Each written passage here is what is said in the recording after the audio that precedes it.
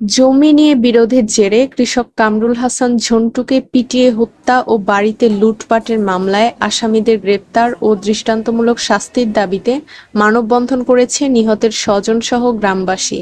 আজ রবিবার বেলা এগারোটার দিকে বাগাতিপাড়া উপজেলার পাকা ইউনিয়নের বেগুনিয়া গ্রামে এই মানববন্ধন অনুষ্ঠিত হয়।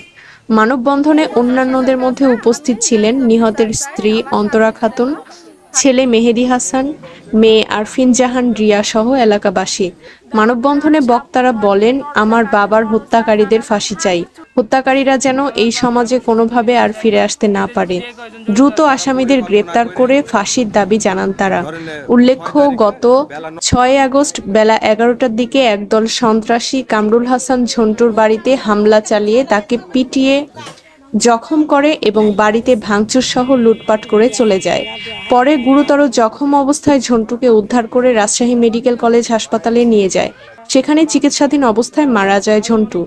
এ ঘটনায় নিহতের স্ত্রী অন্তরা খাতুন বাদী হয়ে বিয়াল্লিশ জনের নাম উল্লেখ সহ পনেরো থেকে বিশ জনকে অজ্ঞাত আসামি করে বাগাতিপাড়া থানায় মামলা করেন। মামলায় এ পর্যন্ত দশ জনকে আটক করেছে পুলিশ।